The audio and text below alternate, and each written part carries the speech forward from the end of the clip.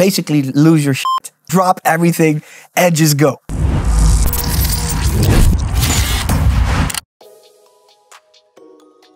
It's real. It's real. It's non-stage. It's non-fake. It is based on real people. It's based on real emotions. Uh, it's it's it's based about caring about each other and and it's it's real. You know, I'm approachable. I know a lot of the fans personally. I know sometimes what they go through, um, and I think that is part of of life, connecting with other people, and music helps us to do that. They were full of contrast. Uh, for me personally, um, when the pandemic started, I think everybody got hit with like, oh my God, what's going on? Me included. Uh, at the time, I was traveling um, South Africa, Australia, and actually already flying back from Australia with a mask. And when I got back in uh, March 2020, um, basically everything went off the map for me touring wise. So that really meant that everything was really, really getting serious. But I needed to stay busy for myself. Besides trying to make some new music, uh, I was uh, trying to fuel my label Body Warmer with new music, um, making remixes, but also working towards an artist album. But I didn't want my you know, to lock myself up only in the studio and uh, to be secluded from my family. I have a, a, a at that time a one-year-old, um, and and with my family, I also wanted to embrace that family time. However, uh, I also didn't want to kind of go AWOL and just you know be off the map.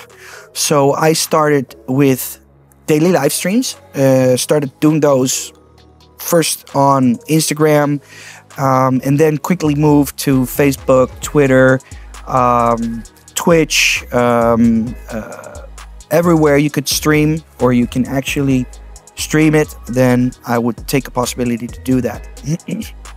Um, that got a large following. Um, and it was a lot of fun to do, especially in the beginning when things are new. You know, that was that's with a lot of things when they kind of originate, when they kind of happen, they are new, they fresh, and that's usually the coolest time you look back at. And so do I.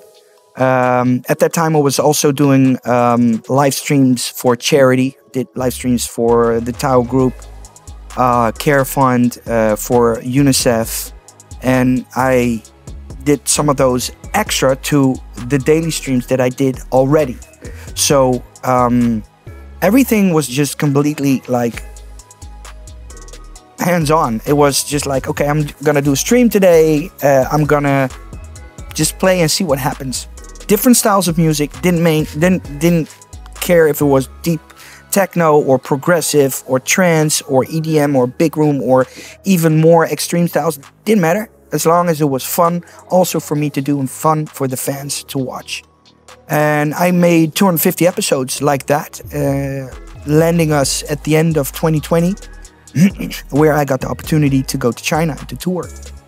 Uh, some of the people they actually know that I have a, a, a Chinese uh, partner. She's from China, and together with our little girl, we got the opportunity to go to China. And after quarantine, starting a tour of half a year in China, uh, which brought me to many cities in China that I haven't even seen before, you know, for all of my uh, touring life. So that was super interesting. It was super interesting to see how uh, a huge country like China is dealing with uh, a pandemic situation like that really, really interesting to see. Uh, I got to learn a lot from that as well.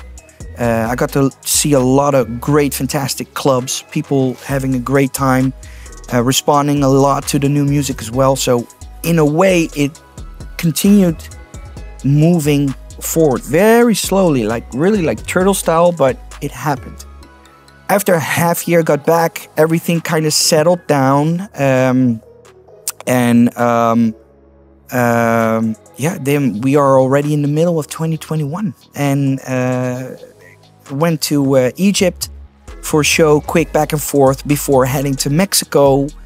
Uh, did a show there as well, and moving to America, where I was continuing my marquee residency, where I've been playing for over 10 years now. Uh, and I'm very, very proud of that, and I'm very happy about that as well.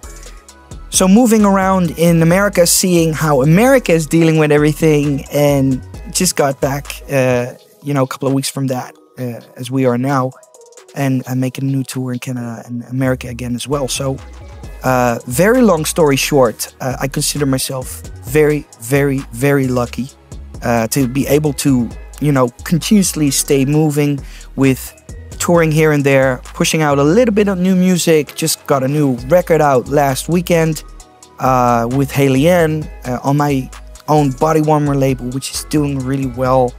Um, also, fueling the label with a lot of new talent uh, because, I mean, the world is your oyster, right? So, there's so much talent out there that I'm also trying to, you know, try to give a little bit of a platform.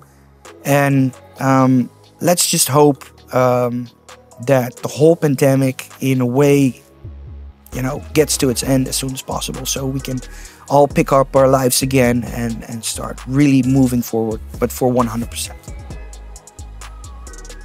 I'm very happy to be part of the Revealed uh, Recordings family now. Uh, that's also where I'm uh, doing my Body Warmer label as well. So I'm, uh, I'm doing releases, releases for the main label as well as my own label body warmer, and uh, like I just said, just got a new record out with uh, Haley called Kings.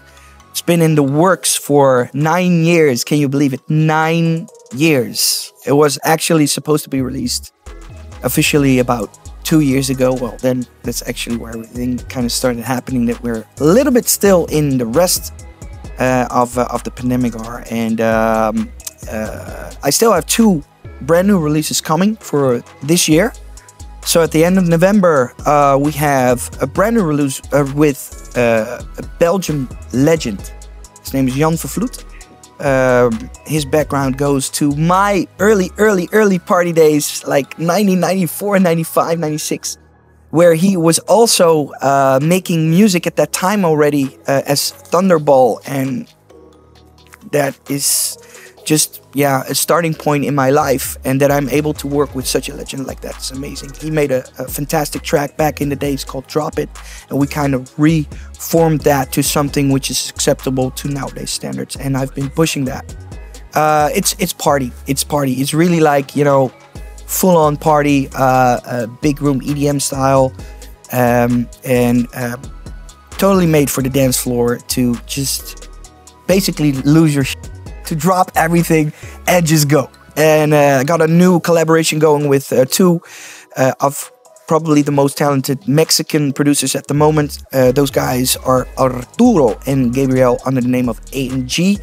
Uh, they're doing a lot. They're making a lot of noise right now on uh, Armada, on uh, Revealed, on basically every label, and um, they're super young, super talented guys. Uh, I already did a release with them uh, called Firefly on Revealed, and uh, we're gonna do a new one uh, at the end of the year, and it's gonna be called Sink or Swim. And with that track, I actually kind of look back at where I come from.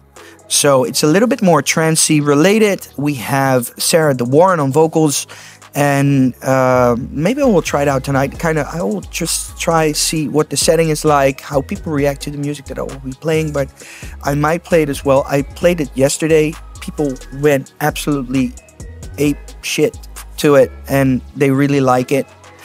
I'm really happy that I'm, uh, you know, in full control and able to do creatively everything that I want to do. If it's a commercial thing, if it's an EDM or a big room thing, if it's a vocal trance thing, it doesn't matter. If I feel like it, I can do it. And um, that's just a matter of how you walk into a studio or how you want to start working on a on a new project. Is that you know it's possible to do it, and and and that's what I really like of uh, of the situation that I'm in right now.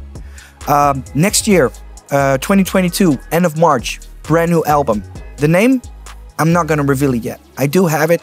Uh, I'm in the end of the process of finishing up the whole album, so while touring, I've been sneaky road testing here and there some tracks and refining it over time. Um, and um, I'm, I'm, yeah, I've been working on that for one and a half year, more or less. Um, it's gonna be varied, obviously electronically based, um, all over the place. Uh, uh, probably a lot of the stuff what people would expect, but also some music that probably people will not expect. So that's gonna be the end of uh, March 2020, and um, that's that's the the calendar as it is uh, and as as it looks right now musically. When I started DJing, it was actually about mixing and matching. Mixing and matching the right tunes, and it didn't matter if you were a producer, yes or no. We're talking vinyl days here. So we're talking like mid 90s, end of 90s. Then around the 2000s, the start of the 2000s, you should also be able to be a producer. It didn't really matter if you were a good or a bad producer, as long as you can say that you have the records under your belt, you get a little bit of extra shine. They take you also a little bit more seriously as a DJ. DJing was still very, very important that guy uh, kind of got the overhand until where we are now, where software is so accessible.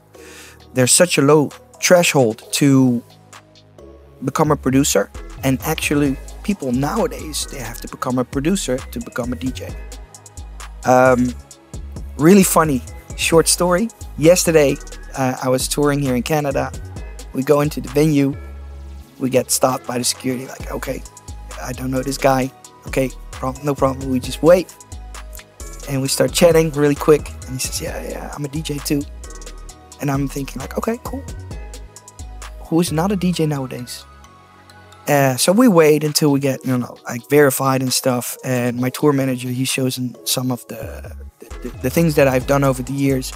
And the guy says, oh, oh, you're a verified DJ. Ah, okay. What does that mean? I have no idea. But maybe that's where we're going to that you can be a DJ, you can be a verified DJ, you can be an artist, you can be a producer. Nowadays, because I want to go back to the original part of your question, what is most important is that you find a, a, a comfort for yourself where you want to be.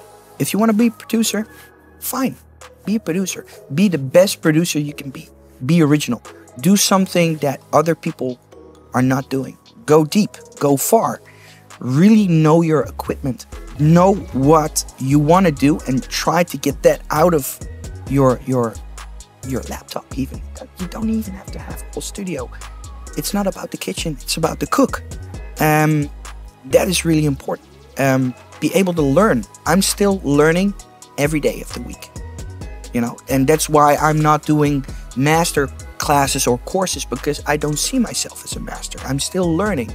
I don't know everything A to Z. I'm not classically trained. I'm not musically schooled. I learned myself everything from where I am now. And I'm still learning. So always be eager to learn and to absorb as much as you can to make yourself better. Um, and be comfortable at, at where you want to be. If you want to be an artist, then you have to basically go through a lot of stuff, a big package to become that artist nowadays. And that's difficult uh, because there's not enough time even to explain how much time it takes and how much effort it takes to become an artist, to become a DJ nowadays. So, with that, you have this imp- impeccable, incredible uh, competitive market of people making music all over the globe. That's something you have to keep in the back of your mind. And um, I, I just want to say, you know, that with that, I'm super happy that there are so many people right now in making new music, in trying to find new ways and or going back to hardware where everybody went for software just to get an edge and to be special to create that special sound that makes you you and just be comfortable with that. That's the most important thing. One of my Jeffrey Sutorius career highlights without any doubt is closing down Ultra Europe after Swedish House Mafia. That being said, what I played there was a Jeffrey Sutorius show. And the feedback that I got from that show is something I will not forget quickly.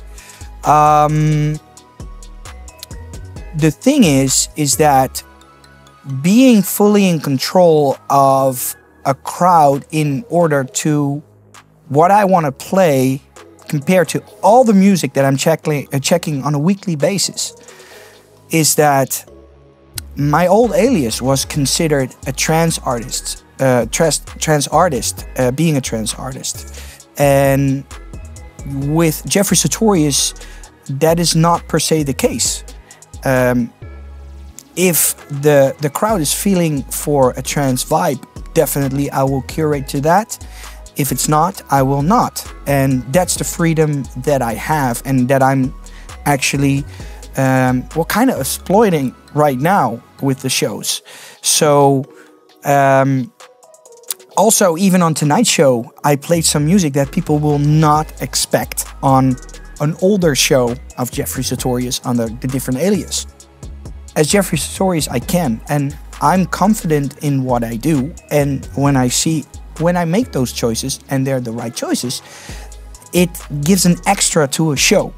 So, not that I'm going from A to Z electronically, that rhymes by the way, but I want to tap more into different genres than or trance only, or EDM only, or big room only. And there's so much to choose from. Because, like I said before in the interview, there is so much talent out there. Some are already recognized, some are not, making amazing music. And I want to be able to support that too, even if it would not be fitting in a set that people would normally expect from me. You know what I mean? So that's that's the difference. The other difference is that when I started producing as Jeffrey Sutorius, one of the first things that I did is making a remix for Mayan, Mayan featuring Icon, and tracks called Cold Summer. And when I finished that, people could not grasp what for to put it in what kind of style, in what kind of genre. So people labeled that as electro prog pop, which is not a genre at all. And I was like, okay, well, if you guys see it like that, that's really cool because then supposedly I made something unique that you cannot like really fit into a box. And that was kind of the, the creative start for me as Jeffrey Sutorius on a road to eventually what has to become the album next year. Um, but obviously also tapping into you know vocal stuff a lot a lot i love vocal stuff um, but also instrumentals and uh, also hard racing stuff or more progressive type of stuff. That's what I really like from the creative side being a producer, Jeffrey Sutorius, but this is also a little bit what you can expect with Jeffrey Sutorius shows. They're not specially curated for one type of audience. I think I think that's the near future right now. Um, what you see is, and it's becoming a little bit of a trend, is that uh, people are taking on different aliases to uh, kind of tap into different markets and different genres. With Jeffrey Sutorius, I don't see the need to. I feel confident in what I do. And when people come to a Jeffrey Sutorius show, they will get a quality show no matter what type of music it will be. Well, the, the, the funny part is that um, a long time ago, I'm, I'm saying like maybe 12 years ago, uh, actually, uh, I was doing a, late, a lot of A&R work for Aropa Records, which was under the wings of Armada Music. And a lot of the artists that were featured back in the day, they were on Aropa Records because of the A&R work that I did for the label. Uh, obviously, uh, in cooperation with my partners, but um, definitely I had a, a lead in, in signing new talent to the label. In some cases, that led to collaborations as well. And coming back from where I started as a DJ buying vinyl in a record shop. It's completely a long time ago, completely different perspective of how music was, um, uh, how it sounded, but also, you know, how popular it was or how not popular it was, doesn't matter. Is that when I went to a record shop, I knew, and I still know, by listening to a single song for 10 to 15 seconds if I like it or not. And what am I looking for? That's a question I have to ask myself. I don't know. That is that is completely a feeling. It's not something I can put in words. I have to hear something that clicks with me. That can be a groove. That can be uh, some kind of a synthesizer sound. It can be a vocal. Um, it can be a, just a simple beat. I know what I want in 10 to 15 seconds and I've I've done that for all my life. So you have to imagine yourself that I go to the record shop. I'm you know gonna buy some new records, and I just do. I take a needle, I put it on the record, dip dip dip, and I know. And that's how I build up my record collection. I still have it, and this is how I listen to music. It needs to grasp me within 10 to 15 seconds. If not, and that has served well, my purpose for my career. And yeah, like I say, uh, and, and what I kind of explained in your question towards other producers is like, yeah, you have to come up with something which is maybe unusual, which is surprising. And that doesn't have to be very complicated. It can also be very simple A esteemed colleague of mine once said, "Music is what feelings like, uh, feelings feel like," and that is that is true. And you cannot put that in a box and say that will work for everybody because it's personal, and that's personal for everybody. And from that personal side, it will go to close friends, and sometimes it, it goes wider, and sometimes that goes really quick and sometimes goes really, really slow and takes time to develop. And of course, you can hear difference in certain types of quality nowadays because a lot of people are shifting back to, um, uh, you know, software from software to outboard stuff in order to, you know, go the extra mile and to create that you know, edge, that difference. Um, but I think we're we're really going to a very interesting time in the electronic music scene right now. Uh, for the next couple of five to ten years to see where everything is leading. Because, I mean, can you ever imagine that techno becomes melodic? I could have never guessed because techno is one of the most abstract type of music in our in our industry as a genre. And now it's melodic and now it has vocals too. So it seems that everything that was kind of boxed in or you know had a certain label to it like how it should sound or how it should be that's off. But that that that only that not only goes for techno that goes for everything. So that only goes that not only goes for techno, that also goes for trance, that also go, goes for EDM, for big room. All the bets are off. So the question is, what are the producers of now and the future are going to make of that? And I think when you look into what happens with uh, producing music, is a lot of people put their own feelings into it, but also circumstances. So that's why a lot of people will probably approach their music differently because there was a pandemic. You know, they they're focused more, or you know, they have a different approach on how to make their music, and that makes it different of what it was. And that is one of the key features features of electronic music that it's been always evolving, evolving, evolving, evolving, evolving. And I'm really curious where it will go in the next five to 10 years. I mean, in the next five years, what is going to happen is, you know, is uh, let, us say 50% of, of, of producers, are they going to go on an algorithm that is going to decide where their production will lead or will they keep on doing their own stuff? That already creates a split right now in what the future is going to uphold and where differences are going to be. And those differences are they going to be accepted? Yes or no? I think it's super super interesting time right now. I've always said that when it comes to performing then you have to be really staying close to yourself, your core values of who you are. Don't portray to be something or someone who you are not. And that goes wrong for a lot of people.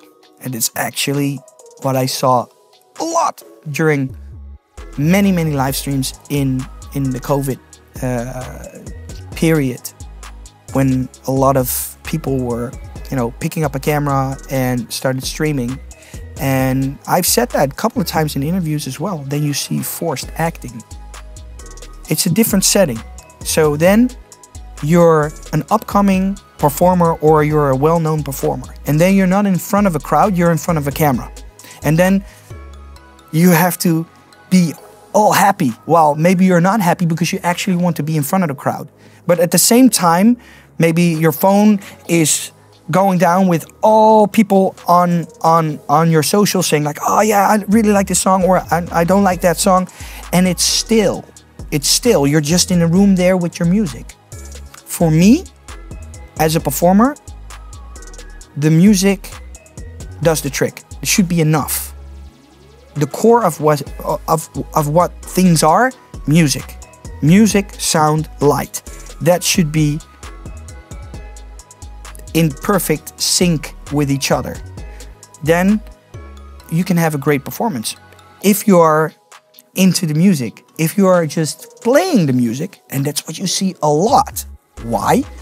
Because people have to make music to get known. If you get known, if you want to become professional, you need to become a DJ and you have to. But do you really want to?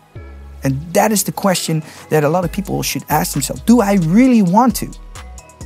And let's be really honest the other side, where do I come from? I'm a DJ at heart. My core is being a DJ, my core is not being a producer. People know that. I don't have to hide that. I'm really open and honest about that. And that's why I don't consider myself a core producer. I know uh, I can help, I can assist, uh, I can engineer. Can I do everything from A to Z? No, I can't. Does that matter? No, because I'm confident in what I do, with what I can produce, what I represent as a person, as an artist.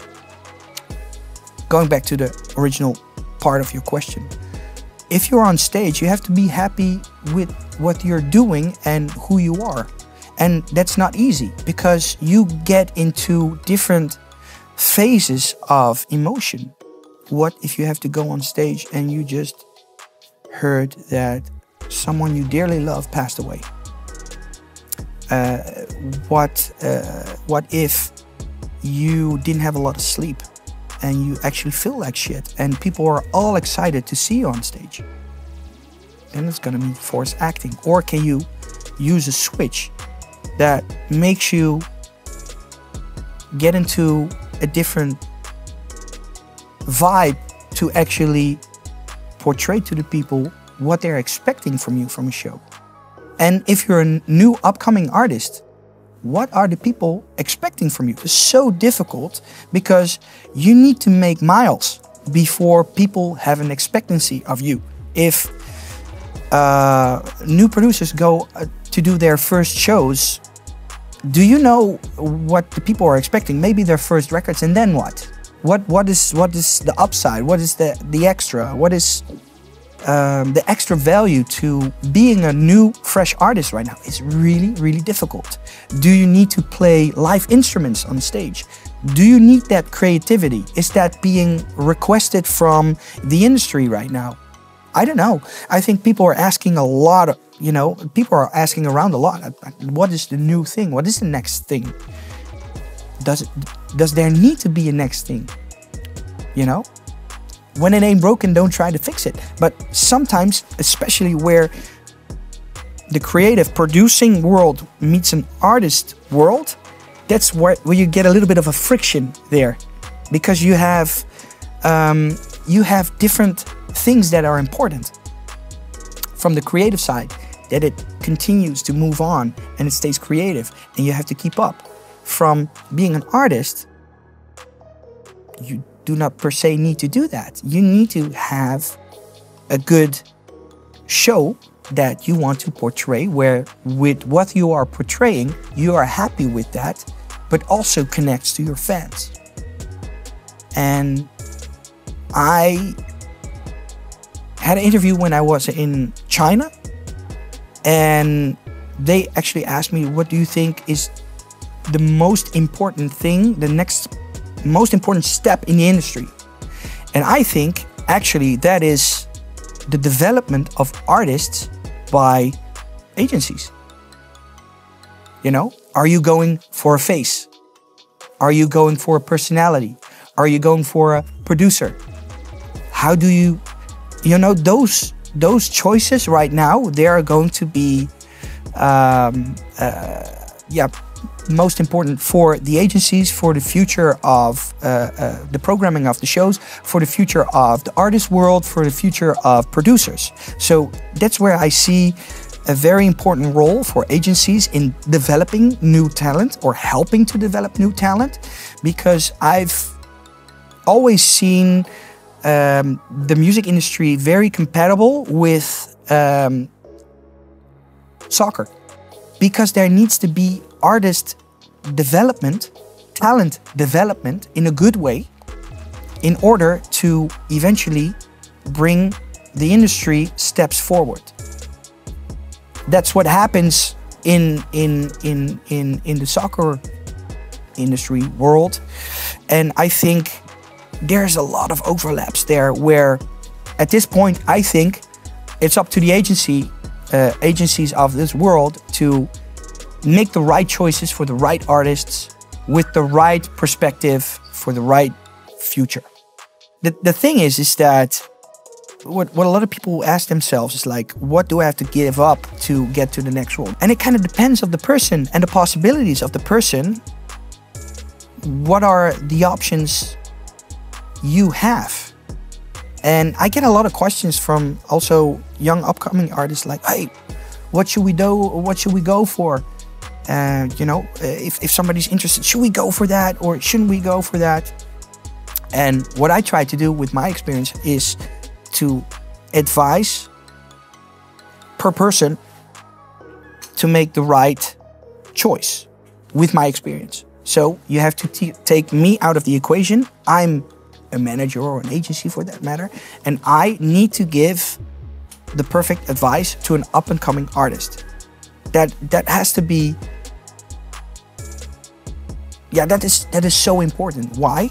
Uh, because you can scar people if you are just saying, yeah, yeah, go for everything and go for it, and it's all based on you connecting to an artist where you also are earning money from. That it, it's becoming more professional and it's becoming more about income and that kind of stuff. Maybe that's not interesting for that artist at that point at all a lot of phases of the development of talent are, I think, they are really underestimated. And the more you take into the equation to help to build an artist in every facet, not just saying, "Oh yeah, we're gonna sign you." Oh, oh look, you're up, you're on our website. It doesn't work like that. It's what we call in Dutch maatwerk. You really need to know who you're talking to uh, the background, the character, certain type of intelligence. Um, you need to know what are the goals.